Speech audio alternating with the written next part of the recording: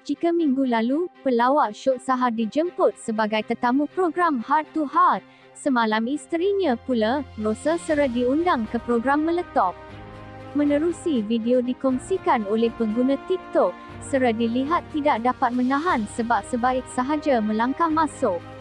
Mengulas mengenai isu rumah tangganya, Sera seolah memberi bayangan bahawa hubungannya dengan Syuk sebagai suami isteri bakal berakhir. Menurut Sarah lagi, sebelum ni dia mampu memaafkan suaminya kerana memikirkan tentang anak-anak, namun tidak kali ini. Saya rasa sakit kali ini sekiranya memaafkan dia. Saya rasa tak bahagia dan macam mana saya nak bahagiakan orang lain kalau saya ada perasaan macam itu. Kami dah berbincang untuk ambil keputusan apa selepas ini. Saya memang akan fokus kepada anak-anak sahaja dan perniagaan. Mengenai kami mungkin cukup sampai di sini, katanya.